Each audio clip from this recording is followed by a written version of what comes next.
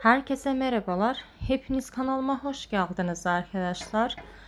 Bugün sizlere rüzgarlı bir havadan yine sardunya videosuyla geldim. Bugünkü videomuzda sardunyalarımıza kür vereceğiz. 15 gün oldu ben sardunyalarıma kür vermiyordum. Bugün de hangi kürü vereceğimi de sizlerle paylaşmak istedim, bölüşmek istedim. Bol vitaminli bir kür vereceğim. Çiçeklerimizin dolu dolu tomurcuk çıkarmasına, sağlıklı büyümesine, güzel çiçek açmasına yardımcı olacak bir kür paylaşacağım. Bakar mısınız her tarafından ne kadar güzel pıtır pıtır tomurcukları geliyor. Çiçeklerim ne kadar sağlıklı olduğunu görüyorsunuz arkadaşlar. Ben her zaman paylaşıyorum sizlere. Sardunyalar hangi kürleri seviyor? Sardunyalara hangi aralar kürler vermemiz gerekiyor? Yapraklarını neyle beslememiz gerekiyor? Her türlü kürler paylaşıyorum. Kanalıma geri dönüş yapıp izleyebilirsiniz. Yeni bilgiler edinebilirsiniz. Bugün de sizlere iki türlü kür karşımı paylaşacağım. Her ikisini de yapıp verebilirsiniz. Çekler için çok faydalı bir kürdü. Bu şekilde sizlere limonla geldim. Dilimlediğim akşamdan dilimlediğim limonumuz var. Burada da limon tuzumuz var. Limon suyundan da kür yapacağız. Limon tuzundan da yapacağız. Bu kür o kadar güzel fayda sağlıyor ki çiçeklere. İçerisinde C vitamini, antiseptik özelliği var. Çiçekleri mantar hastalıklardan koruyor. Çiçeklerin yapraklarına gelecek olan böceklerden koruyor. Toprak içinde olan karıncalardan koruyor. Her iki türlü koruyor arkadaşlar. Çiçeklerinizin yapraklarından da besleyebilirsiniz. Köklerinden de besleyebilirsiniz. Her zamanki gibi 2 litre dillenmiş su aldım. Bugün 2 litre aldım. Ayrı ayrı kavanozlarda. Çünkü bir tanesinde limon suyu dökeceğim. Diğerine limon tuzu dökeceğim. Nasıl yapacağımızı da göstermek istiyorum. Elinizde hangi olur olsun limon olur limon tuzu olur olsun ikisini de yapabilirsiniz. 15 gün aralığında yapabilirsiniz. 15 gün geçtikten sonra yine yapabilirsiniz. Şimdi ben sizlere limon tuzunu göstermek istiyorum. Ne kadar ölçüde koyabiliriz? 2 gram koymalıyız arkadaşlar. Ben göze yarı göstereceğim. Kaşığımızın bakın bu kadar bir çay kaşığımızın ucunda koyuyoruz. Çok koymuyoruz. Çay kaşığımızın ucunda. Her türlü limon tuzları var arkadaşlar. Un gibi olanlar var. Bunun gibi yumurlu olan limon tuzları var. Sizin elinizde hangisi olur olsun yapabilirsiniz. Önce bu şekilde iyice güzelce açmamız gerekiyor suyumuzu. Tuz iyice erimesi gerekiyor. Bakar mısınız? Dip kısımda duruyor hala. Eriyene kadar ben diğer kürümü de göstereyim. Hangi ölçüde döküyoruz? Bir çay kaşığının ölçüsünde limon, doğal limon suyu katıyoruz. 1 litre suya.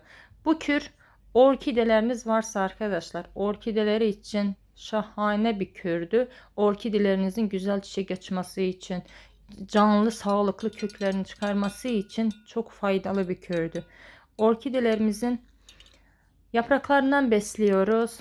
Hava köklerinden besliyoruz. Limon suyunun küründen inanılmaz etkisini görüyorsunuz. Benim orkidelerim hepsi çiçek dalı çıkarmaya başladı. Yeni sağlıklı kökler çok güzel gözüküyorlar. Limon tuzumuz iyice erimemiş. Şimdi yine karıştıralım. Elimde çay kaşığı olduğu için güzel karıştıramıyorum. Bu şekilde iyice eritmemiz gerekiyor. Buna çok dikkat edeceğiz. Evet eridi şu an. Ben her videomda da söylüyorum arkadaşlar. Çiçeklerinizin güzel çiçek açması için doğal renginde olması için bu şekilde büyük açması için çiçeklerinizi doğal besinlerle beslemeniz gerekiyor. Benim sardunyamın bakar mısınız çiçek saplarına ne kadar uzun dolu tomurcukları her tarafından yeni gelen tomurcuklar rengine bakar mısınız? Doğal rengi ve sapının uzunluğuna bakar mısınız? Ne kadar güzel uzun sapı var.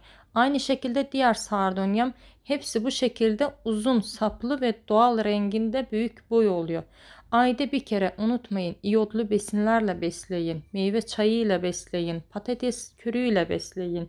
Hepsinin azar azar yine de tarifini vereceğim.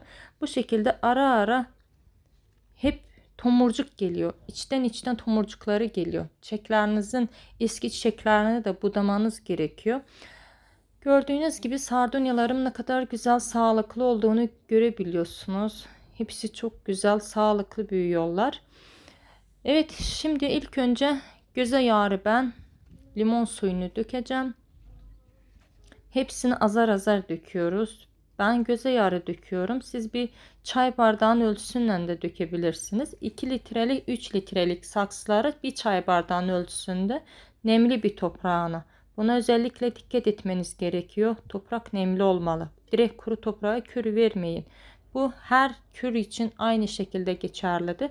Kuru toprağa kür vermeyin arkadaşlar. Çiçeklerinizi strese sokabilirsiniz.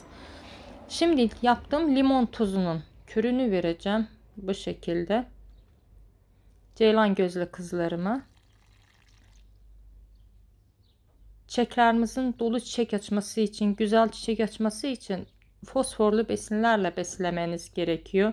Bakar mısınız bodor kızlarıma? Küçük saksılarda olan sardunyalarım hepsi çok güzel, sağlıklı, tomurcuklu. Yeni aldığım sardunyaların hiçbir tomurcuğunu dökmedi, kurutmadı arkadaşlar. Bazı hanımlarımız diyor yeni sardunya aldım tomurcuklarını kurutmaya başladı saksı değişiminde.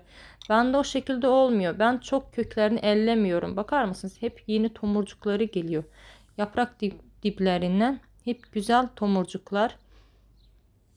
Bu benim daha önceden küçük bodor kızlarım. Hepsi çok güzel tomurcuklanma. Her dalının ucundan yeni bir tomurcuklanma. Çok güzel yoğun bir tomurcuklanma geliyor. Aynı şekilde bu sardunya. Hepsi çok sağlıklı, çok güzel gözüküyorlar. Sardunyalarınıza ayda bir kere 1 litre suyun içine 2 damla tentürlü iot katıyorsunuz. İyice karıştırdıktan sonra çiçeklerinizi nemli bir toprağına veriyorsunuz.